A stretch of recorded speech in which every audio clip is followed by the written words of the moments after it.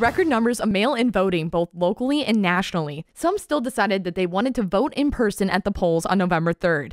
Alan Van Dyke was one of those who showed up at the Greencroft polling location on Election Day.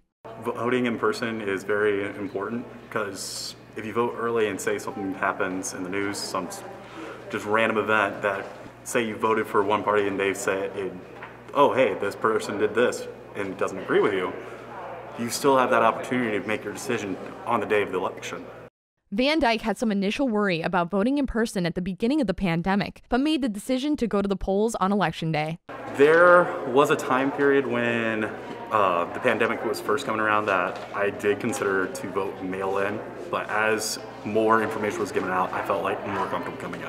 Local polling centers took necessary precautions to ensure that all voters could use their voice and stay healthy. Dennis Hopman, the supervisor of the Greencroft Community Center polling location, did not want to put any voter at risk. We had uh, face shields, we have all sorts of PPE uh, equipment, uh, disinfections, gloves, wipes for the, the pens and everything, Q-tips uh, to touch, to, to select the candidates.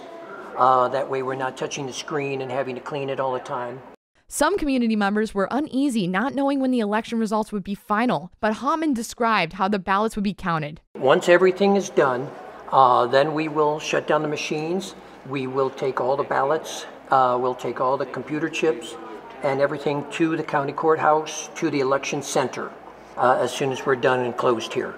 So that way they can immediately start counting all the ballots. After the votes were tallied, the winners for the Elkhart County Council are Thomas Stump, Tina Wanger, and Adam Bujalski. The Elkhart County Treasurer is Tina Bontrager, and your Goshen School Board members are Brad Weddle, Maria Sanchez Shirk, and Alan Kaufman. Reporting for Globe News, I'm Katie Day.